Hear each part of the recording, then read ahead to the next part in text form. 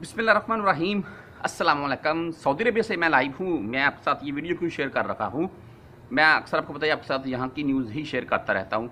ये जो अभी अफ़गानिस्तान से एक छोटे बच्चे की वाक़ पेश आया है। मैं आपको यहाँ पर उसकी एक वीडियो जो सोशल मीडिया के ऊपर वायरल हुई, मैंने जब उसकी वीडियो देखी आप यकीन करें, मेरे खुद से आँसू निकलने के, ऐसे जैसे आदमी रोने लग जाता है।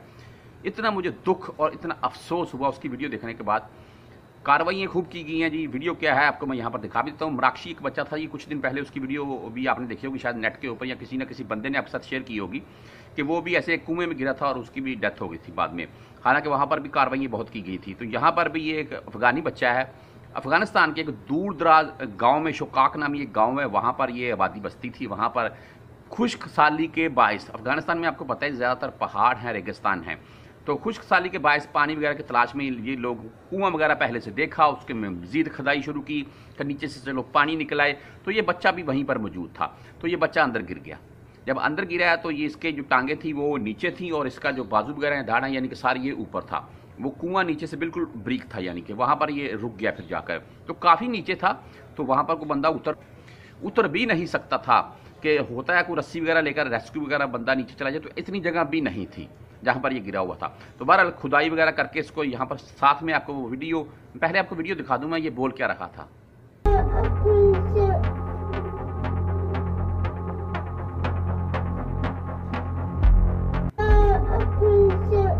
देख लीजिए आपने वीडियो।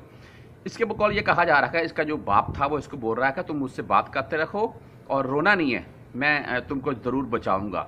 यार, बहुत ही मुझे हकीकत बात है अफसोस हुआ है ये खबर पढ़ने के बाद। फिर इसे नीचे एक टोकरी में रख कर वो बोलते हैं, केक और पानी भी पहुँचाया गया। उसके बाद पिक्चर आप साथ में देखते जाएँगे कुछ खुदाई वगैरह बंदे इकट्ठे हो गए। तीन दिन ये काम रखा जी। मुझे, मैं बोलता हूँ कार्रवाई की लेकिन तीन दिन भाई काम करने के बाद, तीन दिन काम रखा और आप कुएँ से बच्चा नहीं निकाल सके। यार, हैरत वाली बात है वैसे। कुआँ क्या इतना ही गहरा था कि तीन दिन में आप उसमें से एक बच्चा नहीं निकाल सके। और तीन दिन बाद जब इसको निकाला गया, इसकी भाई डेथ हो चुकी थी। मुझे ये जब मैंने सुना तो मुझे खुद से हकीकत बात है, बहुत अफसोस हुआ है।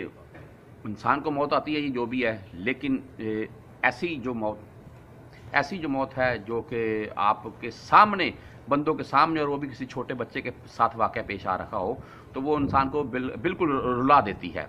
तो बहरहाल ये एक मैंने बोला आपके साथ वीडियो शेयर करता चलो मुझे काफ़ी अफसोस हुआ। अल्लाह ताला की ज़ात उसकी मगफरत फरमाए उसके वालदेन को सब्रता करे।